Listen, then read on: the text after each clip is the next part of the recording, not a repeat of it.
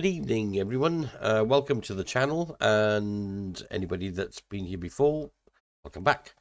So um, today we're going to be doing something a bit different. So um, going to be doing some somewhat like a, a devlog, I guess. So I've been working um, in the background on just improving things in general, uh, working on a new template, working on new characters and uh, animations and systems in general, uh, as I wasn't quite happy with what was going on previously. So, um, so this is more of a, a, sort of a guide or a tutorial, just showing a little bit about what goes on in the background with the processes of um, creating characters and designing the game, I guess. So it'll apply to um, uh, game developers as well as um, people looking at what what I'm doing with with with the game that I'm developing. So, uh, without further ado,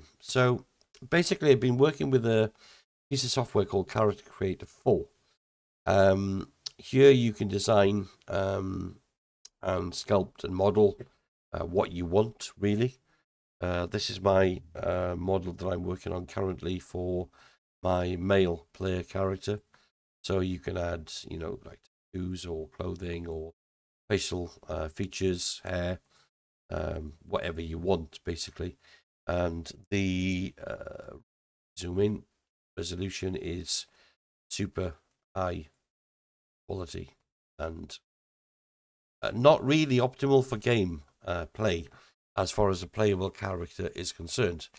So, um, what we're going to go through now is how to um, convert this character once it's modeled uh, as I've got it currently into uh, or out of character creator exported and imported into Unreal Engine. So uh, using currently Unreal Engine 5.4 um,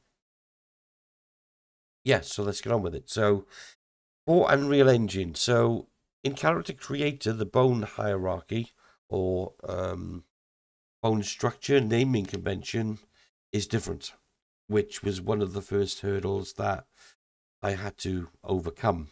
Um, so as you may see, the uh, naming convention has prefix of CC underscore uh, in Character Creator, and the root bone which is the uh, start bone of the skeleton tree, is CC underscore base hip, which Unreal Engine does not like. Uh, you need to go through all sort of um, IK rigs and retargeters and all sorts, and it just doesn't like it basically. So if we go to my player blueprint and show the difference um, in here, as we may see, you start with the root bone, go into the pelvis. I go to the bone, show you where we are. There. Okay, so the root bone is at the base of the character. Then we go to the pelvis. Um, and then from there we go up to spine two, three, the head bone and everything else. Character Creator also has uh, facial bones for eye movement, uh, tongue, um, jaw, and teeth. So you can do uh, facial animations. So just a quick demonstration of that. Talk. Hey, this may be a bit loud, so I'll quiet. Hi there, I'm a digital character created with Character Creator. Okay, so you get the idea. So basically, to get this into Unreal, uh, we need to convert the uh, the model. So the first thing we need to do is select the pose there. Yeah, that's the one. Um, and convert the model so that it's usable as a Unreal Engine player model simple. Uh, it took me a while, but I worked it out. But all you need to do is select on the character convert to game base in the uh, options panel on the right. We need to separate the eyelash material, bake the textures into a single material so that it reduces size and um, select for me personally the 4K highest resolution textures we can get and convert and save. I'm not going to do that now because it does take a while. Um, I've got a uh, converted version of this saved already, which I'll open. Uh, but pay attention to the bone structure when the new one opens as the game base model. I want to save no. All. Okay. So we now have pelvis thigh. If we go to Unreal, we have boot, sorry, then pelvis thigh. The root is there, believe me. On the bottom, I believe. It's in order. It is there. But this is the Unreal Engine 4 uh, mannequin skeleton um, bone structure now with a optimized mesh. Okay. Um, sometimes when we do this, I zoom in, see, we can see that, oh, that, this one's adjusted. Yep. So the sometimes the mesh is a little distorted uh, or jagged, not quite as smooth as I would like. So all I do is click on smooth mesh, select the sliders to the maximum, and then that fixes that there. Okay. So this is now ready to export. Uh, in order to export into Unreal, first of all, uh, we need a plugin, which is on the Real Engine website. Download, install, instructions are here. Takes minutes to do, very easy.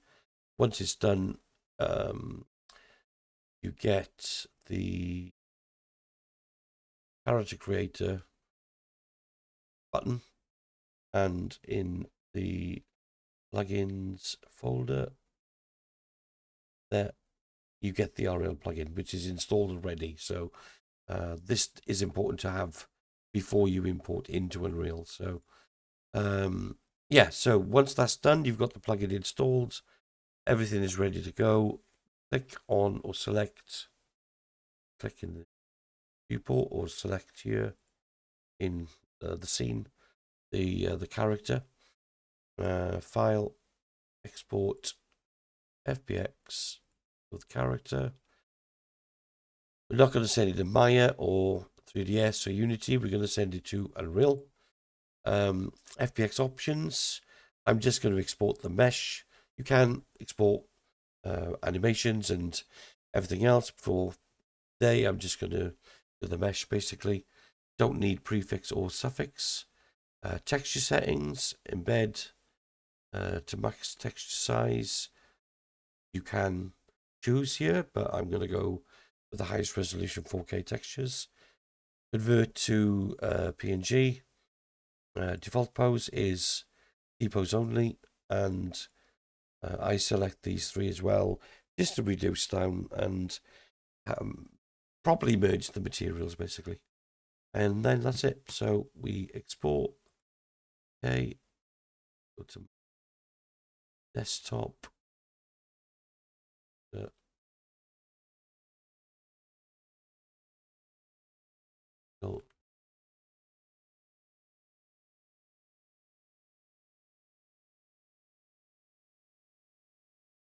CC4.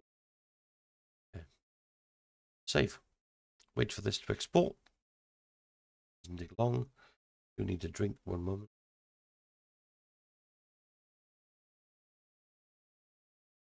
Sorry about that. I've got a bit of a cold my throat is really dry.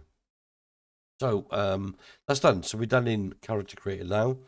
All we need to do is import into Unreal Engine. I'm recording, am I? So uh, just get a new folder basically.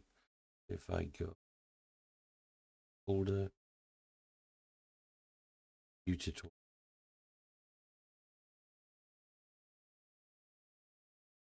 CC4. Right click, import uh, from here. We find the uh, mesh that we just exported from CC4, this model on the desktop, YouTube FBX, open, select the HQ shader. So this is the pop-up that happens when you've got the plugin for Character Creator 4 installed in Unreal Engine. So we select the high quality shader. You can go for standard or low, but um, I want HQ, so high quality it is. Okay. And then the options here, all of these need to be ticked as they are. Skeleton mesh, because we're obviously importing the skeleton mesh. We do not want to select the skeleton. I'll explain why in a moment. Um, we need to update the skeleton references, use TO as reference pose, uh, preserve smoothing groups, import meshes in bone hierarchy, um, import morph targets, vertex attributes, the physics asset, uh, yeah, compute weighted normals, and uh, create new materials because we want the uh, the mesh materials uh, to come along as well. So that's everything. Uh, we, we want to take a screenshot of this. But basically that is what needs to be selected. And then I will import all. Doesn't take long to import. But sometimes we do have few fixes that need to be done, which we will find out shortly. Okay. First thing we do once the model is imported, we select and save all. To all. Usually, uh, we would need to go through setting up a rig, uh, retargeting animations, and time consuming. Um, but now we don't. So, because it's using the um, the mesh is using, or the, the, the model is using the Unreal Engine uh, bone structure. Um, we can right click, delete the skeleton that comes with the model and just replace the references with your character skeleton if it's using the UE4 um, mannequin uh, skeleton. So in my case, I'm using uh, Advanced Locomotion System. So I'm going to use my ALS mannequin skeleton here, which is again using the UE4 uh, skeleton and replace references and save. That's it. Done. Save all. We look at the uh, bone structure. The same Start with root, go into pelvis, to spine one, two, three. Um, and all animations are automatically retargeted because it's using the same skeleton. So all I need to do now is go to my character blueprint and is the mesh. Uh, save tutorial, new tutorial SCC4, and change this mesh for that one. Save. And before we do that, actually, wait. Yeah, so this is another issue that sometimes happens. Let me just disappear or hide the bones. See clear that. Okay. So the model um, from here, I mean, you can see it's not quite the same in Unreal. So it's like cartoony and blocky and not not the same. Doesn't look the same. So uh, very easy fix for this. So I'll just close that down a moment we go to the imported textures and two of them I don't know why, in the FBM folder. For the body mesh and the normal, import as virtual textures. And that is the issue. So just select both, hit enter. So you open both textures up. In the search box, find virtual texture streaming and tick and save. Same for the texture, virtual texture streaming, tick, save, and that is it. That's all that needs to be done there. There we go. So we're back to as we should be. And we can just press play. So this is another issue that happens. There we go. As you may see, we've got twitchy leg syndrome. Uh, all of the animations work. We can run, we can move, we can jump, we can. I put in. Yep.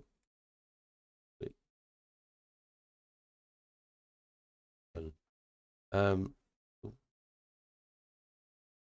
Right.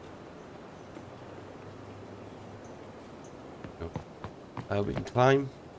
Everything works, but we've got a twitching left leg. I don't know why.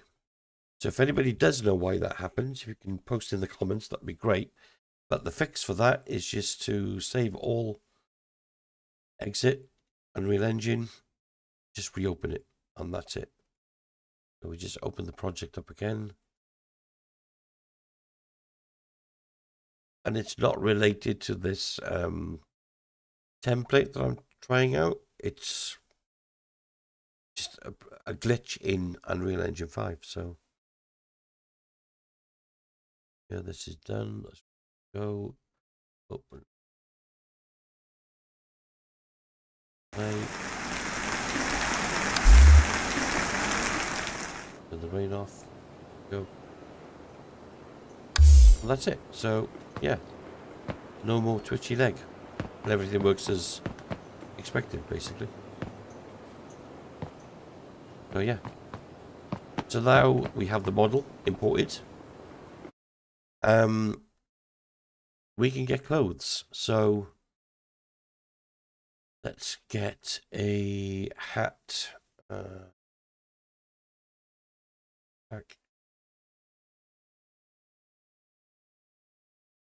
Oh, baseball hats. We are.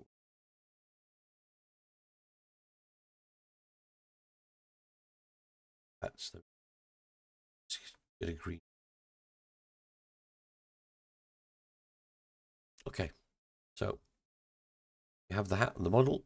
All I need to do now is, like for instance in my game, um, on the template that I'm working on, I have all of these uh, clothing items added in already. So, as an example, we've got a blue hat, we've got a backpack, orange coat, blue shoes, blue fleece, have some uh, black pants, I guess.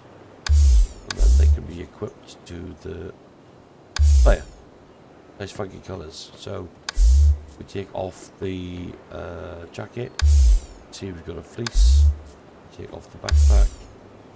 Got a character with clothing that moves with the character, basically. Hat. You get the idea. So what we need to do now is basically export this baseball hat into Unreal. But we don't want the body, we don't want the boxes, we only want the hat. And this is very simple to do. So first things first, we go to the scene. Uh, the model has uh, eyes, which we don't need. So we delete those. The eyebrows, we can delete as well. Boxes, this might not be NSFW, but there's nothing really there. Um, we only need the hat, basically. So, first thing I need to do is go to hide body mesh, select all of the uh, triangles. Hide. That's first part. Then I need to go to Kevin, the, um, the body mesh, edit mesh. It's hidden already, which is good. If I click on the hat, I can test and see what is being displayed. We still have, see here, we still have the tongue, which is there. So come out of this, select the tongue, edit mesh, select all the faces, hide. Now if I select the hat, it's only the hat that we have in view. That's that. With the hat selected, I go into file, export. Yeah, sorry. Okay, so file export. These are the settings that we used earlier, so nothing needs to change there. Export, okay. Name it green at save.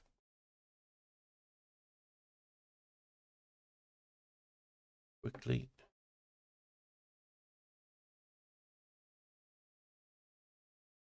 And that's it. So into Unreal, to my accessories folder, hats, all hats. We've got blue, so green. Right click, import, HQ shader. These are the settings from previously. So again, doesn't need anything changing. We want the materials because we want the hat materials. So all. This doesn't take long. Like before, we need this hat to um, inherit the uh, the body of the player. So again, we select the skeleton, delete, choose the ALS mannequin skeleton in my instance, which is my player skeleton, and then replace reference. All done. We now have a new hat. But uh, I need to add this to my data. So, go blue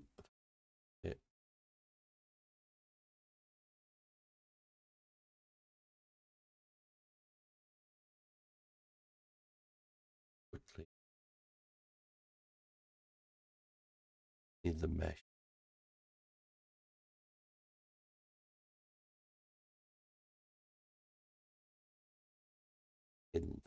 Eventually, I'm going to have a female uh, character as well. So, for the character selection, so you can go uh, male or female options separately. Just got a male character for now, but that's ready to go. So I go in